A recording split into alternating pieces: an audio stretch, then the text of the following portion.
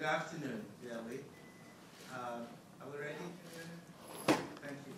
So uh, this is very, very delightful to have uh, nearly a full house for our inaugural seminar series in the program in public health. There are many, many people who contribute to making this series a success, beginning with the students who attend and actually study the topics in depth and occasionally write uh, papers from the literature on the topic. But both students uh, and faculty and uh, on occasion members of our community are responsible for nominating uh, excellent speakers for the series. So as we begin this, uh, this year's program, I urge you to pay attention to topics that you'd like to hear about, uh, individuals that you'd like to have visit us. We try to make this uh, worthy of the time of the speakers so that we engage them in discussions and questions uh, during the presentation and also um, at the lunch that we host afterward. We also use this seminar series to build our network with uh, practitioners, researchers, advocates uh, for public health. There is no better time in our country's history, in particular even uh, globally, for engaging discussions in public health. We're very lucky today that the state government or the county government is not shut down like the federal government. Um, but uh, yeah, as you all know, this has been an exciting couple of weeks for health uh, in general. And a lot of the work that's done at this regional level is really what makes uh, healthcare in this country work. Uh, but we have to be very vigilant and supportive of all of the programs so that they don't uh, disintegrate. This series, as we talk today, um, we will videotape the presentation, uh, and it's for our open courseware series. And we really have the Office of Extension, uh, the Dean of Extension, uh, Gary Matkin, and uh, his staff, particularly uh, Ms. Adriana Mestas, who's back there helping us, uh, I think three, four years ago now, that we've been putting our series for the world to see. And this has been very, very informative for people who do not have access to the expertise that we bring to campus or to the kinds of uh, interactions that we engage in. So I um, am very grateful to the uh, extension for allowing us this opportunity. It's a privilege. Um, so as I uh, mentioned, we build networks we also um, are very grateful for the public health agencies in our community for supporting the program in public health. And today's speaker um, really has uh, done a lot uh, in his office and in the agency that takes care of health uh, for the county population. Our speaker today is Dr. Matthew Zahn. He is the medical director for the Division of Epidemiology and Assessment at the Orange County Healthcare Agency. Uh, he received his Bachelor of Science from Santa Clara University and his Doctor of Medicine from St. Louis University of Medicine. And then he did Pediatric Infectious Disease Fellowship at Children's Hospital of Colorado. Colorado.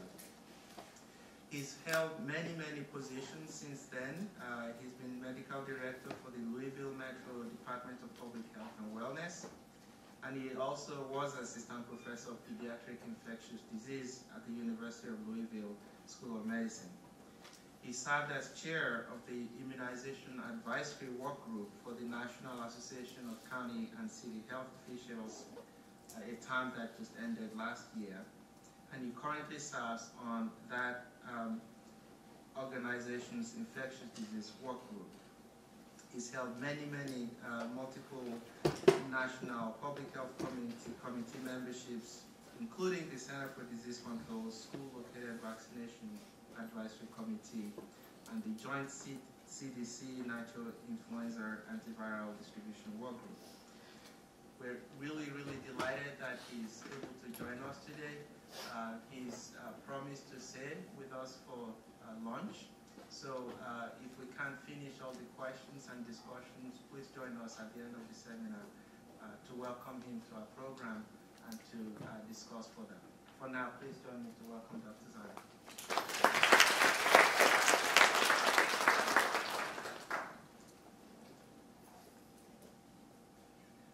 Great. Thank you very much, Ely, for that introduction. So, uh, so you all are, are you all undergraduates mostly? Raise your hand, if you're undergraduate? Okay. How many are in the School of Public Health? Yes, majority? Okay.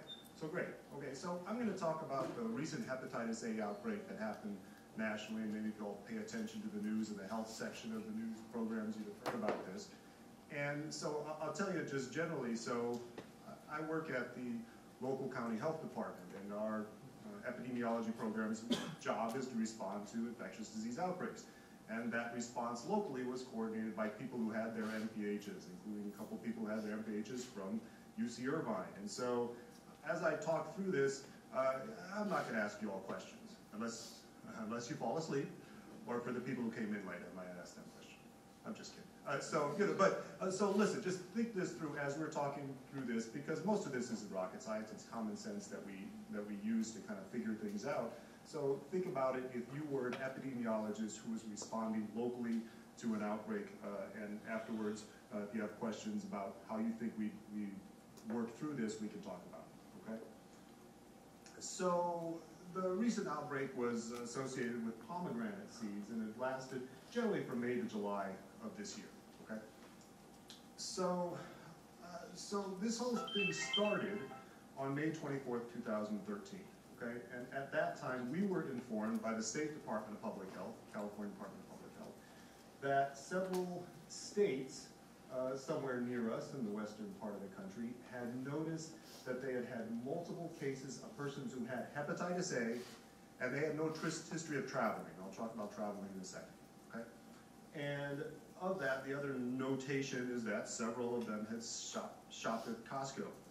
Now, you know, these events are all a little bit different, and I gotta admit, there's, you know, there's a little bit about this that even they did that kind of confused me a little bit, and I'll talk about that in a second. So, hepatitis A virus, okay? So, 27 nanometers, so it's a tiny virus. It's a non-enveloped virus. Why do we care about that? Well, non-enveloped means it doesn't have a lipid, a fatty envelope. And the important part about that is non-enveloped viruses tend to survive on surfaces outside of uh, organisms better on, you know, the environment, okay? Uh, it's an RNA virus, and that's important for us because RNA viruses habitually, as they reproduce themselves, and that's all viruses do, that's what they exist to do. They exist to in- invade an organism's cells and produce more of that virus. RNA viruses tend to make some mistakes, and what that means is genetically over time you have distinct genetic variants of RNA viruses. Um, it has, it's a pretty small pretty simple virus, so it's that RNA, that's that long line of genetic material sitting in there.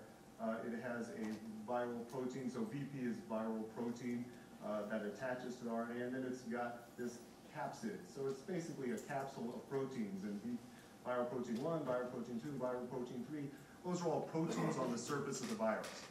And the reason those proteins are important, are two big reasons. One is those proteins allow the virus to attach to a cell, a human cell most of the time, and go into the cell and use that cell to make the viruses. The other part is our body's immune system recognizes those proteins, and so your and my immunity to hepatitis A has to do with whether we make antibodies against those, that viral protein 1, 2, and 3. Okay, so one big thing to realize here, okay, is all hepatitis is not the same. So when someone comes and tells you, I've had viral hepatitis, well, I don't all mean the same thing, okay? Hepatitis A, hepatitis B, and hepatitis C are the three most common types of human hepatitis that we see. Uh, strictly speaking, the only thing they have in common is they all cause inflammation of the liver. Otherwise, B and C, uh, very genetically completely different. B is a DNA virus, C is an RNA virus, but totally different family of viruses. And B and C generally are STDs, sexually transmitted infections, and IV drug use associated passage, okay? And they cause chronic disease. So, you know, when someone who's had hepatitis, who's associated with IV drug abuse, who's got chronic long-term disease, usually that you're talking about, okay? Hepatitis A is passed by the fecal oral route, and we'll talk about more- that more in a bit. Uh, and it doesn't cause chronic disease, and so that's terribly important. When someone says, I've been dealing with hepatitis for ten years, it ain't hepatitis A, okay? Now, in the United States, as I mentioned, you don't see a whole heck of a lot of hepatitis A, except it's associated with travel. Now, New Mexico, they got some smart people in their health department there because they noticed that they had two cases of disease that hadn't had travel, and they jumped on it and said, there's something wrong, we gotta figure out here. I don't know how they figured that out. In California, we have about hundred people each year who tell us that they didn't travel even though they had hepatitis A. Um, are they lying? Do they remember wrong? Do they just not want to tell us that they have traveled over and back? All of those are possibilities, but we have these people happen. And we had a couple of the cases that, that kind of fitting into this in the last couple of months in Orange County. They hadn't traveled, they got hepatitis A. Bothers us, but it's hard to do something, uh, you know, to be honest, totally about it. And here's the reason. Okay, so people will call us all the time the health department and say, I ate at restaurant X and I got sick. And of course, that restaurant was the one that made me sick. That may be true, maybe not. And an awful lot of times, food illnesses, salmonella, shigella, other viral illnesses, okay? Most of those will make you sick about within a week, and a lot of times within one or two days of eating at their place. Still, sometimes people get it wrong because people basically tell us, if I got diarrhea, the place that I ate four hours ago, that's the place that gave me diarrhea. Well, most of the time, that's not the case, right? Uh, so following up on most of those is kind of tough, but hepatitis A is dang near impossible. The incubation period is 15 to 50 days, okay? So for the other illnesses, we try to ask them, where'd you eat Sunday? Where'd you eat Monday? Where'd you eat Tuesday?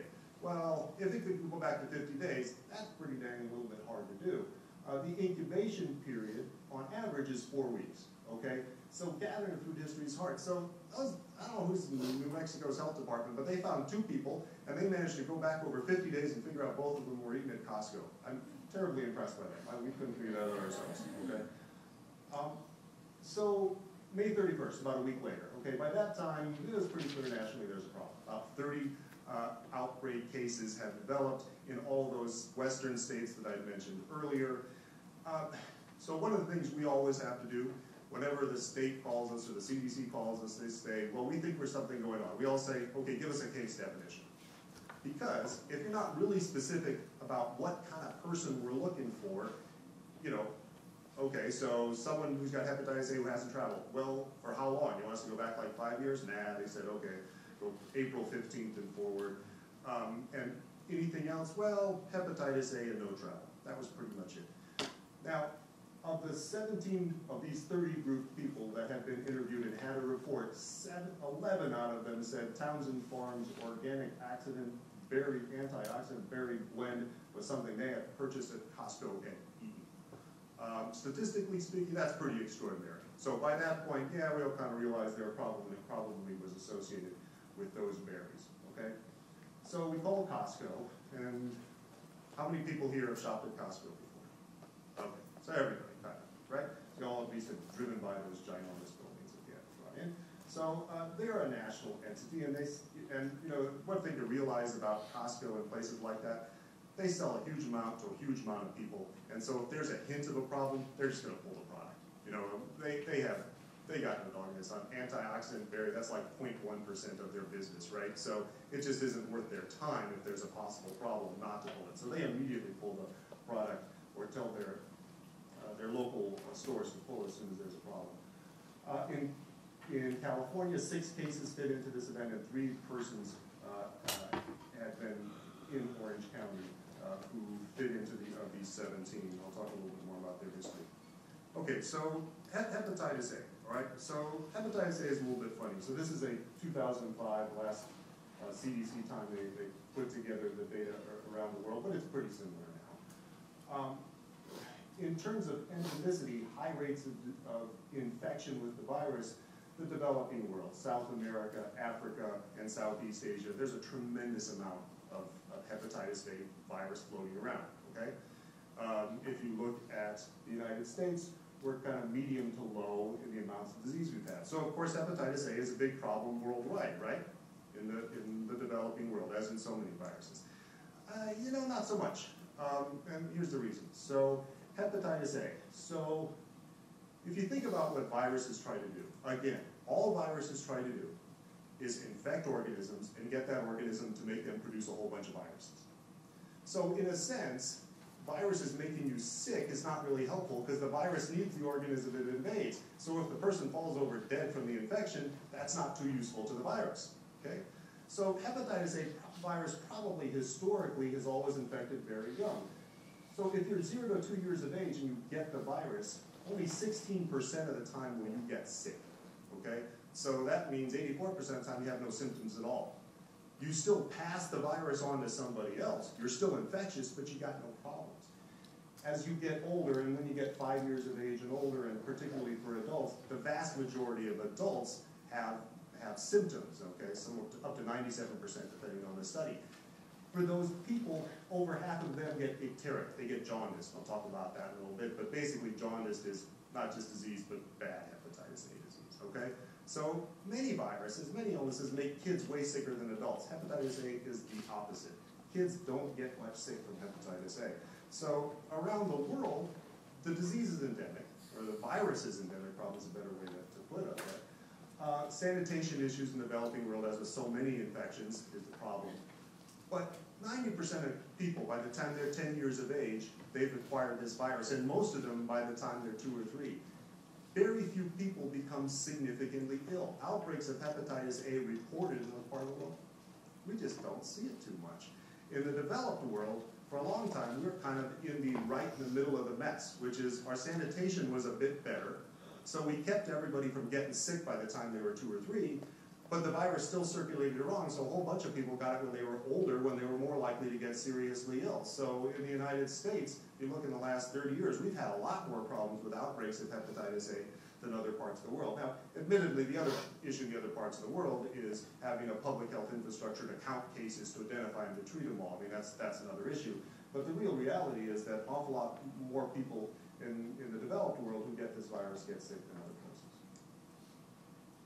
So the illness itself, okay, there's, there's the illness, the pre-illness, and then there's the jaundice disease, right? So pre-illness, the prodrome, so it's about one to seven days and people get a little bit sick, they got nausea and vomiting, they get fever less than half the time. Fatigue, they feel miserable, you know, so it's, a, it's an illness that makes you feel pretty bad. Belly pain, chills, uh, arthritis, arthralgias, joint pains. You know, all that stuff is pretty dang common. We certainly see that. But the truth is, an awful lot of viruses give you those symptoms. So for the first week, you go to your doctor, and your doctor say, "Eh, you probably got a GI bug. Come and see me if you're not bad."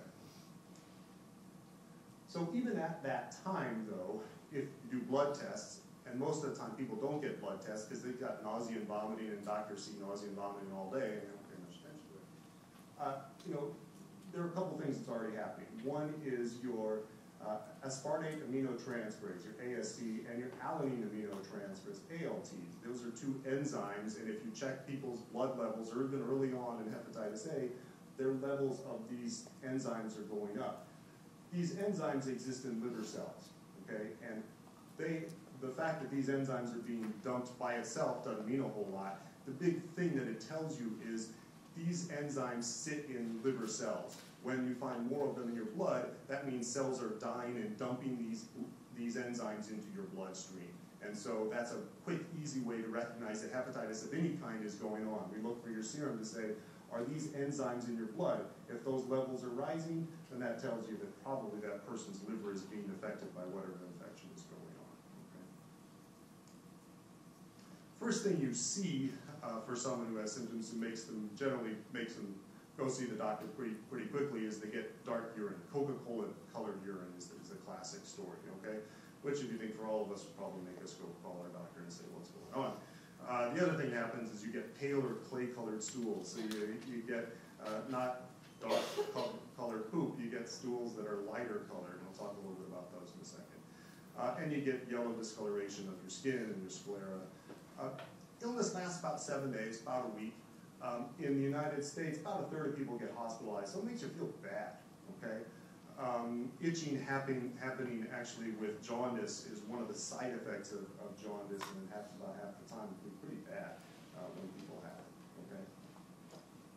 Now, uh, jaundice, so, uh, I, a couple of things I'll tell you about it is that, as a physician, uh, we, we don't see a whole bunch of people come in jaundice. Occasionally you do, but you miss it the first time because, I mean, supposing you were looking at this person and you hadn't seen them before, this person is jaundice. How yellow is her skin? I don't, I don't see her every day, you know. Uh, the big thing for us is to look at the eyes. So if your eyes, if you have uh, hepatitis, if you are, have jaundice, your yellow sclera are the big thing that really comes up for people.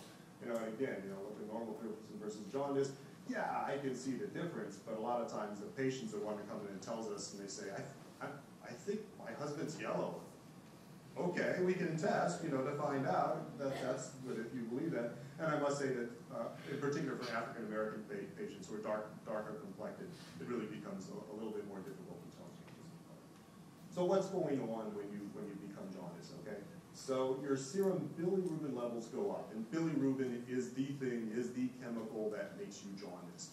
Now, the your bilirubin starts out from hemoglobin. So hemoglobin, your erythrocytes, and your red blood cells. Okay, all of your red blood cells they last about four months, and then your spleen carries them out of collects them as they get older and decrepit, they stop working so well, and the spleen breaks down some of the materials. One of the materials is bilirubin. Bilirubin is part of your hemoglobin, know, so the, the molecule that carries around your oxygen. So bilirubin is broken down from the hemoglobin. The he, that bilirubin is then taken to your liver, and your liver's job generally is to clean out the toxins of your blood, right? And one of the toxins its job is to clean out is, is bilirubin. If your liver's not working right, the cells are not working right, and the transportation through it throughout your liver is not working right, then things go astray. That bilirubin usually gets conjugated, it gets sent into your intestinal tract, and you poop it out, okay? So when it doesn't happen, then your poop stops looking as brown because that bilirubin is not getting down into your stool, and that's one of the things that gives the stool the color. The other problem is the bilirubin, usually it goes through your intestinal tract, but if things back up, so to speak, in your liver, then it stays in your bloodstream and it goes into your kidneys. Your kidneys are another organ that cleans out your uh, your blood, and if you have enough bilirubin, the, the kidney kind of gets overwhelmed, starts leaking it out in your in your urine. So that's why one of the first things you see is Coca-Cola colored urine. You're seeing the bilirubin being leaked out. Okay. Um, you know, so how many people get real bad sick with hepatitis A? Okay, and our term for it is fulminant hepatitis A. It sounds bad, and it is. Uh, so about 10 to 20 percent of people who are hospitalized get that, but again, that's 10 to 20 percent, but only a minority of people who get illness get hospitalized. In hospitalized cases, less than 1.5 percent of people will die. So, you know, dying of hepatitis A, can it happen? Yeah. Does it happen? Not much, and it's, it's pretty unusual. The one big thing to realize about your liver, okay, is as long as you have enough liver cells continuing to work, you're okay. But repeated infections, repeated toxicity, repeated issues eventually overwhelm your liver. So if you have chronic liver issues, you've had, for example, you have a drinking problem, so you have drinking associated liver disease, or chronic liver disease like that, you've already got a liver that isn't perfectly tuned up. Those people are far more likely to have serious disease with hepatitis A. People who are older, they tend to be more symptomatic and they tend to have disease more often as well. Can I ask a question? Yes? So in regions of the world where hepatitis A is endemic, where people can get infected all the time, Right. they don't get chronic hepatitis, but do- does their liver get so compromised that you see a higher rate of mortality? Yeah, and the, the question is, do uh, persons in, in areas where the disease, where the virus is endemic, do they frequently have, more frequently have fulminant liver disease, in particular if they have underlying other medical issues? It happens, but it becomes very unusual just because even people who have chronic liver disease in that part of the world, they have most of the time, 90% plus, they've experienced it in childhood before they developed that chronic liver disease. And that antibody seems to work long term. Uh, so even for that population, we just don't see it a huge amount. It probably happens and it's missed sometimes, but it's not a huge problem. So this is, uh, this is a uh, histologic picture of, of, a, a close-up of a liver, and don't worry, I can't quite figure out what's going on in there, so I just felt like I should have a picture of the liver in pathology. But these are, these are the hepatocytes, the liver cells, okay? Within there, you have some sludging, and you have some red blood cells in the, in the vasculature as well.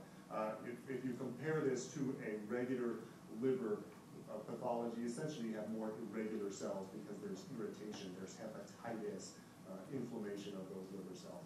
So what's interesting about liver cells, okay, so as I mentioned, hepatitis, what does it do? Hepatitis A, it kills off liver cells, okay, so necrosis, death of those cells. So when you do pathology, one, there's some necrosis, there's a little bit of regeneration, so the, your body can produce a few more cells, but mostly when they die off, you kind of lose them. Uh, so when they find the virus, it's usually inside cells. When it's inside cells, those, those cells act just fine. So one peculiarity of hepatitis A is it's not the virus itself that makes you sick. You can be infected with the virus and it gets into your liver cell, okay, that's fine. It's your body's mm-hmm. immune response. You know, it's, a, it's the, the old line of, you know, the, the cure is worse than the disease. Your body's immune response getting rid of the virus is the problem and the issue. That's when you become symptomatic and that's when you have problems, okay? And so if you look at, you know, you graph it out, so you first get the virus, the virus invades your liver cells and your intestinal tract. Right away, early on, you start, you can start testing for that virus and finding it in your stool, and that's how you pass it on, right? But you're not really sick. So the symptoms, or this blue bar, happen after you've been shedding it in the stool. And that happens when your body's antibodies show up. So for, for those of you who look, that have studied immunology, your IgM is generally your first antibody that shows up to the scene to fight off any particular infection. So your hepatitis A IgM shows up first. Hepatitis uh, A IgG shows up later. Hepat IgM, hepatitis A, and all IgMs, they tend to go away. They hang around for a few months and then they go away. But IgG shows up later but lasts long term. Okay? Those events happen after and the symptoms that go along with it because your immune system, represented by those IgG and IgM, that fighting off, that's what makes you feel sick and feel miserable. But meanwhile, you've been shedding the virus merrily, going about your day for a while, okay? And that's our problem, right? This is, this is one reason why hepatitis A is very good at its job. What's its job? To move from organism to organism, infecting people so that there are more hepatitis A in the world. The reason it's so good at its job is by the time you get sick, it's usually been a couple of weeks at least that you've been most infectious. So if you work at Denny's flipping burgers and you get sick with hepatitis A, that means the whole two weeks where you've been working there and not symptomatic before that, you're quite likely infectious and it's possible you could pass on the virus. That's a problem. By the time you've been, you've been jaundiced for about a week, you're just about non-infectious. The antibody kicks in, it starts killing off the virus in your bloodstream and in your intestinal tract, and you're just not infectious too much anymore. Uh, when we look for the virus and we look for RNA in the, in the stool, we can find it for months afterwards. You probably still shed it for a long period of time, but it's really that you're much less infectious by that point. It's really those couple of weeks when we see the virus passed on to other people. Okay, so the fecal oral route, right? So just to make sure we're all on the same page. Poop, hands to somebody else's mouth, right? That's how it gets passed on, fecal oral, okay? So that means that if you have hepatitis A and you go to the bathroom and you do not wash your hands and then you decide to go to a potluck and share with everybody else, that is how the virus is passed around, okay? Now, how does that happen? Well, okay, so outbreaks happen, but they're not tremendously common in terms of food, okay? Um, most of the time, it's associated with, with an infected food handler. So in other words, we always, this Costco thing is kind of a variation, it's kind of weird, because we see foodborne, food source outbreaks all the time, but mostly what it is, is someone has hepatitis A, they are working at some place, high-end restaurant, low-end restaurant, they are serving food. Right at that point, you know, they are giving food to the person or they are preparing food right at the restaurant. That's the place where hepatitis A shows up most and gets, and gets passed along. If you look at the kinds of foods, basically every kind of food uh, can be a source of the outbreak. The one big thing is that if you cook food, that gets rid of hepatitis A. So non-cooked food, you know, pastries and salads and such, that's the best way for the virus to get passed around. Shellfish outbreaks were once terribly common. The, the largest known hepatitis A outbreak happened in the 70s, uh, and in the Shanghai area, 300,000 people got sick from eating clams that were produced at a specific uh, at a specific site off the coast of China. Uh, so that's probably our biggest known outbreak. I, I, will say that so waters can be a source of outbreak, but that hasn't happened the, since the 1980s. And you know our history, our ability to understand hepatitis A is a little limited by the fact that you know 30 or 40 years ago we didn't have the antibody test. So hepatitis A, hepatitis B, hepatitis C. When we saw outbreaks, all of those, a little bit hard to tell them all apart. What was making all the people sick? Um, but we certainly know that it's less common than it, than it used to be, for sure. So back to hepatitis, to, the, to our outbreak. So FDA and the CDC worked together in the way that FDA and CDC work together, and I'll talk about that in a little bit. Um, the best guess we have is that the virus came from a common shipment of pomegranate seeds that were part of that mixed berry uh, concoction. So right now, the FDA has been detaining any shipments of pomegranate seeds, but Goknur, the, the producer of it, has voluntarily, voluntarily stopped producing it. So it was used, these pomegranate seeds were used in several uh, different concoctions, several different kind of foods, and there really was no known issue associated with these pomegranates before this event. And looking back, the FDA really hasn't found anything thus far at the site that's a problem. Um, so, you know, going back to the virus, so it's quite stable in the environment. Um, if you treat it with quaternary amines, it's not uh, necessarily killed really easily. So you kind of have to be aggressive. Bleach is the thing that tends to kill the virus pretty darn consistently. And that's one of the reasons this virus passes well and can be associated with foodborne outbreaks. It can survive on food for a period of time, even if it's sent someplace else. If you cook it 85, 95 degrees Celsius for one minute, it kills the virus. And so cooked foods uh, unless the person who's giving you the food that's already cooked has it on their hands. Cooked foods are much less of a problem, much less of an issue. So for us, when do we worry about hepatitis A or when do we see it? International travel. So people who've traveled to endemic areas by far One of the things we realized recently is who gets adopted? Young kids. How common is hepatitis A in adopted kids? Pretty common. And so we will certainly see in adoption clinics a fair number of children who have hepatitis A, and so having a low threshold to check them for hepatitis A is one of the standards of practice. Um, men who have sex with men. So this specific population certainly has been associated uh, with outbreaks of hepatitis A. Uh, injection and non-injection drugs. So I told you B and C were classically injection, non-injection drug, IV drug user passed around. But we've seen it in injection and non-injection drug of populations as well. It's not totally clear exactly why it's being passed around. It does. It seems to be just simply issues of hygiene of people not taking good care of their needles, and so the needles get infected right at the spot. And so when they inject in the skin, they're, they're putting the virus into the bloodstream uh, and, and, onto the skin as well. Uh, people with clotting factor disorders. Basically, these are people who've received a lot of times of transfusions, and that raises their risk. Clotting factor disorder persons uh, hemophiliacs are classic. That has become really rare in the last 20 or 25 years, but it certainly has happened more often previously. So if you work with non-human primates who can carry the virus, and in research settings, hepatitis A exposure also happens as well. So these are the groups where we say from a public health standpoint, we don't see it much, but we're more likely to see it. Yes? In men who have sex with men, if it's not sexually transmitted, is it also the close contact, or what is? It, it is more likely having habits that lead to fecal oral passage. you. Yeah, but it- that's a a good question. So, um, uh, and I'll go back to the, to the MSM population, I will say that some of the outbreaks they've seen, they have looked at specific habits, uh, anal to anal, oral to anal sex, and there have been association with oral to anal sex in terms of passage, in terms of sexual habits. Sometimes that's happened with some outbreaks, not with other outbreaks, so it's not completely clear, but uh, assumedly the sexual activity of some source is, is the reason for it.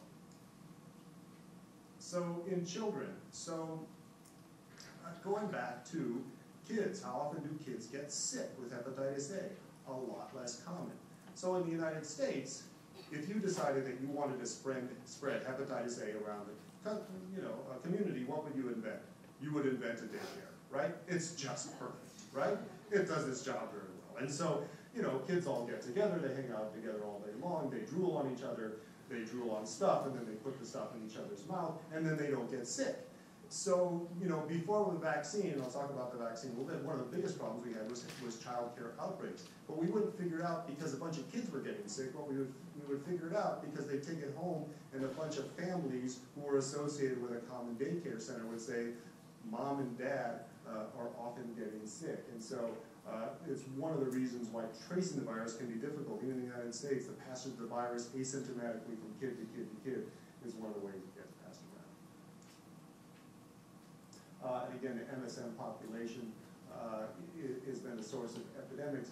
I, you know, the, the, the seropositivity, depending on the population, you know, you look at, you do antibody tests to say, do they have hepatitis A IgG? Meaning, have they ever been exposed to hepatitis A in their life? Those percentage of people being positive in the MSM population is not necessarily all that much higher. So it's not like they have a rip roaring, you know, twenty, you know, percent higher rate of disease or ten times higher. We just see outbreaks happen in that population a bit more often. Um, again, you know, uh, injection drug users, they have a higher seropositivity rate, but again, the, you know, the, the, the exact reason of transmission, whether be cutaneous or fecal oral or just hygiene issues generally, is not totally understood, but we've seen it around the world in multiple situations. Okay, so, uh, thing to mention about genotypes, okay, so just generally, viruses that have different genotypes can pose a specific issue. Influenza virus, for example, every year, slightly different genotype. That's one of the reasons why every year we can have a new flu season, because the virus is genetically somewhat different, it's somewhat immunologically different, our immune system doesn't recognize it as quite the same. Genetically for hepatitis A, it's really not terribly so. There are four different genotypes that exist, but if you're immune to one, you're pretty much immune to them all. Geno- genotyping is interest for us, and we've really been able to use it in the last ten or fifteen years in public health, is us I'm referring to, because it, it allows us to figure out exactly where these viruses are coming from and gives you a sense of maybe where the infection started at. So, uh, the outbreak strain is genotype 1B. Um, you know, so, uh, of all these cases that have happened nationally, I'll talk about the numbers totally, they were able to serologically test, test their blood, and they found this genotype specifically in fifty-six of the cases who've been associated with this, with this outbreak, okay?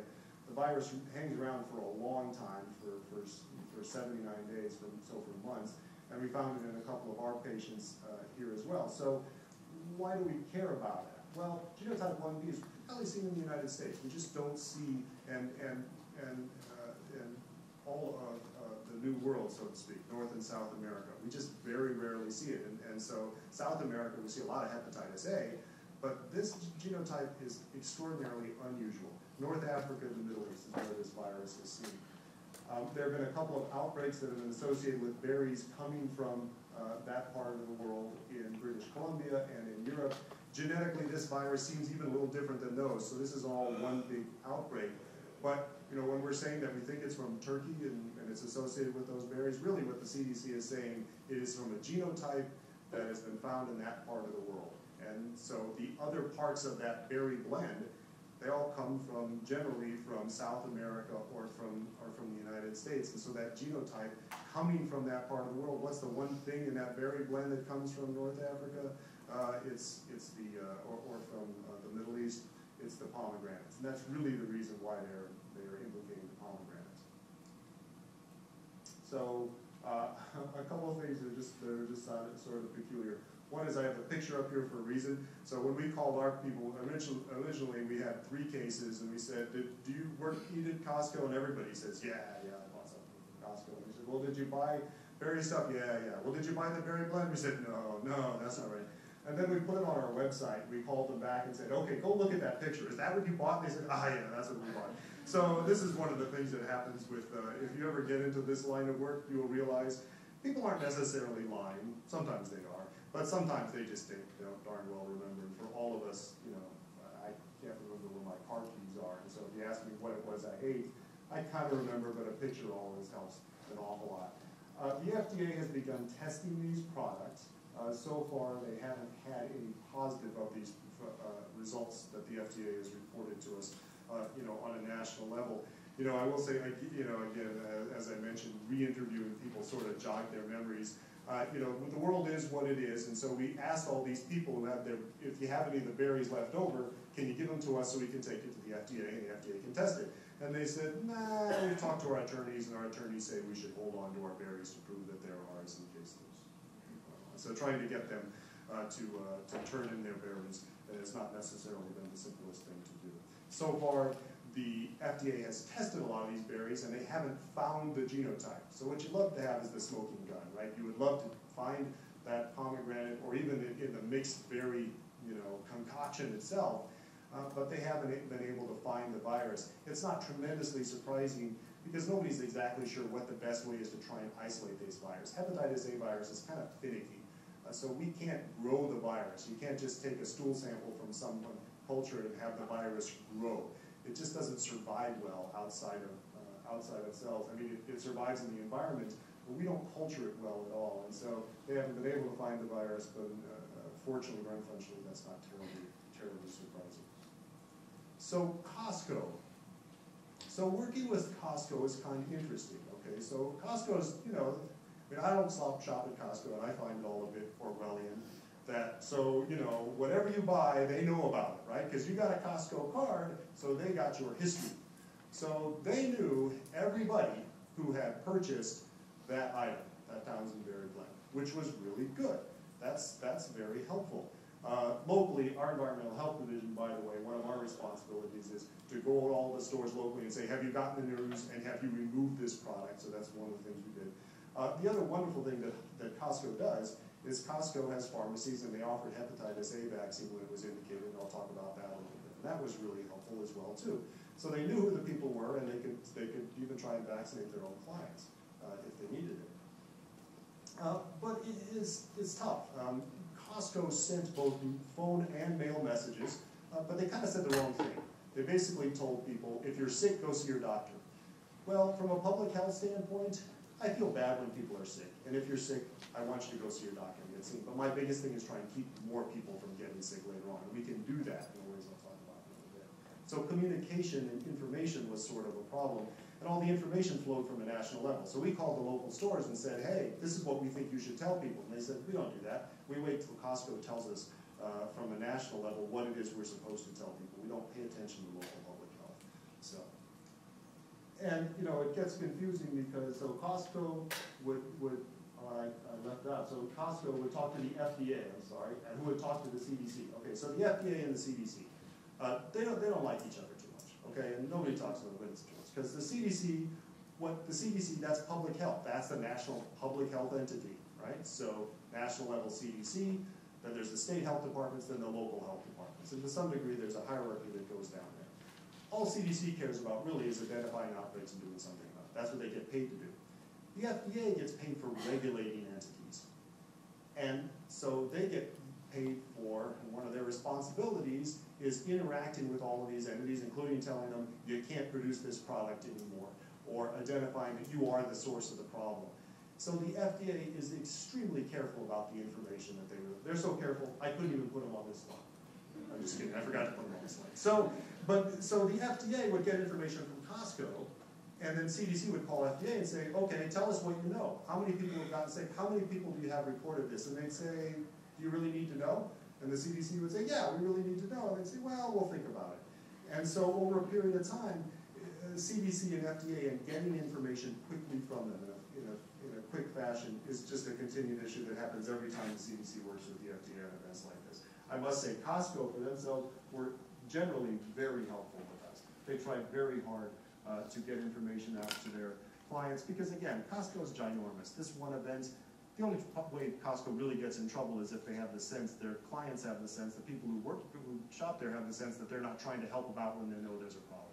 So Costco was very comfortable working with people, with the CDC and the FDA have issues. But, and again, I, you know, mentioned just generally, CDC gathers information, send it to California Department Public Public health, who sends information on to us. I mean, then obviously the information also goes back. When we gather information about our cases, we send it to the state health department, who sends it on to the CDC. So our job locally, okay? Educating people who are concerned. So, uh, we got somewhere in the neighborhood of four hundred calls from people who called in to say, I ate this stuff, or I thought I ate this stuff, or I eat this stuff a lot, or it's in my freezer, what should I do about it? Okay? Um, we provide vaccine, vaccine or immune globulin to a person who had consumed the product within the last two weeks. So that's a big part for us about hepatitis A.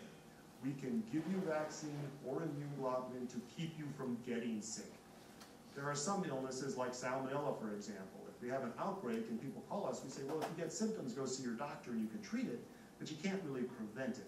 Hepatitis A, if you have been exposed within the last couple of weeks, we can treat you and keep you from getting sick? Um, and, you know, so following up on all the people who are ill and making sure that the people who are close contacts around them get treated appropriately is an important thing we do as well. So if you go back to the pre-vaccine area, twenty, you're at twenty-two to thirty-six thousand cases reported in our country nationally, and again, we're just kind of that brutal in-between. The hy, the hygiene practice, the sanitation in this country is good enough that not everybody got exposed to hepatitis A by the time they're old. But we certainly weren't good enough to eliminate the virus, so thousands and thousands of people would get sick and seriously ill, particularly older people. And, you know, do people die from it? No. On an average, they lost thirty-three days from work by the time all of those symptoms resolved, and so it's, it's, it's a bear. Um, in terms of, uh, vaccines, so there are three different kinds of vaccines, Havrix and Vaqta, those are two vaccines that are essentially, uh, just hepatitis A. Twinrix gives you hepatitis A and hepatitis B coverage, uh, as well, and so a lot of times we recommend people get the, the twin to be covered both sides. So it's a kill vaccine, okay, so, you know, like when flu, I got the flu vaccine and then I got the flu. No, you can't do that, it doesn't work that way, because it's pieces of the virus, it's not the virus itself. And so hepatitis A vaccine, it's a shot of pieces of the virus that are grown in fibroblast cultures and then denatured, they're, they're killed. Uh, aluminum is very frequently added to a lot of vaccines, and it's added to hepatitis A vaccine because it, it boosts your immune response. For a little bit of antigen, a little bit of killed hepatitis A virus, you add aluminum, your immune response is, uh, is more effective. So, how do we know if a vaccine works, okay? So there's two ways you figure it out. One, the best way is you give a vaccine in the community, the vi- the vaccine, the illness goes away, right? Uh, the, the way we often use as a surrogate beforehand, because it's hard to, you know, to give an entire community, you know, in Orange County, we've got three million people, we can't give out three million doses of hepatitis A vaccine and then say, hey, does it work or not? People don't appreciate that. So what we do usually is we give a certain number of people, and nowadays it's usually ten to forty thousand people, we vaccinate them, and then we look to see if they have an immune response to the vaccine. Antibody that happens after that immune, after that vaccination, that's the biggest way we look at, uh, how a vaccine works. If you look at seroconversion, antibody response, it's a, hepatitis A vaccine is proving to be a wonderful vaccine. Even one dose, ninety-seven percent of the time you're covered, we give people two doses, so they're essentially covered hundred percent of the time. So pretty much always you have an antibody response.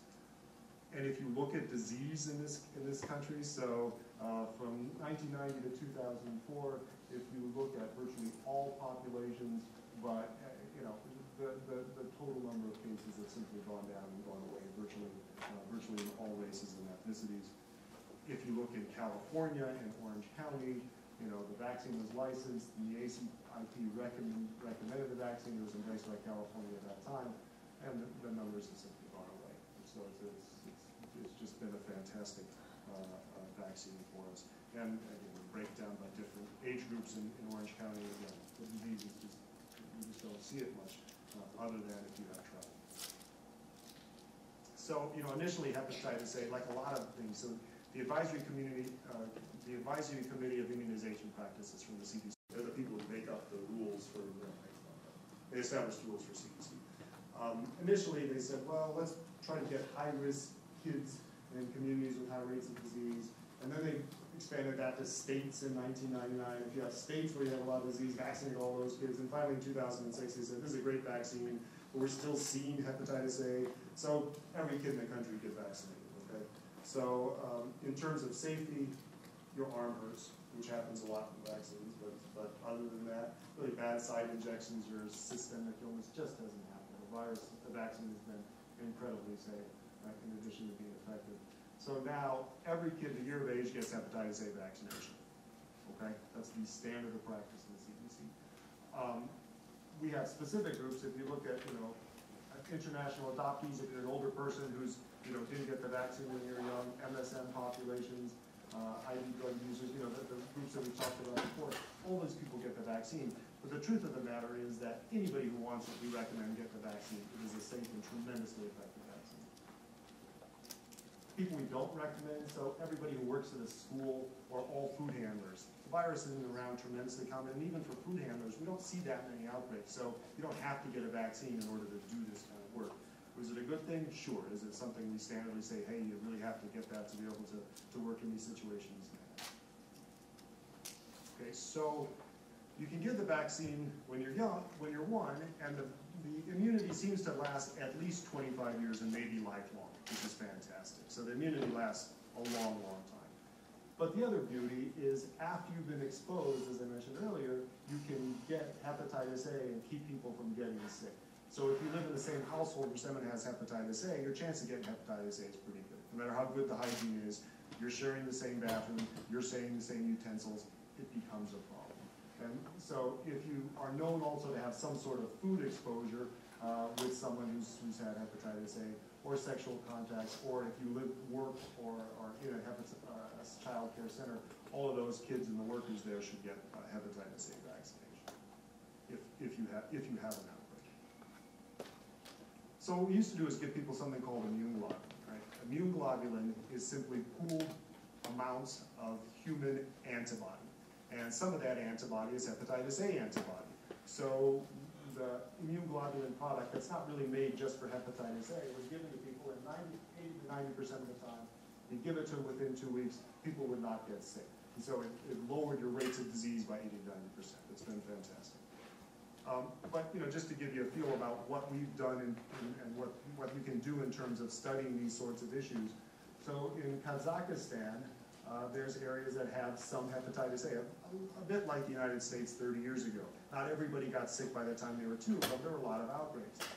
And what they started doing was giving vaccine to people who were two to 40 years of age. So young, healthy people whose immune response is probably pretty good, and said, okay, if we vaccinate you or give you immune globulin, which one's better, or is there a difference? And so one to one, they gave, you know, if you, if you got exposed to someone with hepatitis A, we'd give you immune globulin or a vaccine, we'd do it half the time one, half the time the other. Um, and what they found is that, yeah, if you got the vaccine, you had slightly higher rates of illness than the immune globulin group, but that wasn't even terribly st uh, statistically significant, so the confidence interval passed one.